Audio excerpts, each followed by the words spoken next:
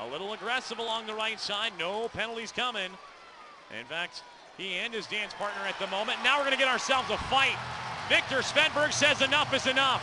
Svedberg's going to drop the gloves with Keegan Kolesar. And Svedberg, the right is free, and he is just delivering jackhammers to the backside of Kolesar. Kolesar's going to now pull him at a distance, but Viktor Svedberg, he's got miles in height and miles in reach, and he continues to swing away, and Kolesar Kolesar thought he could buy some time, and Viktor Svedberg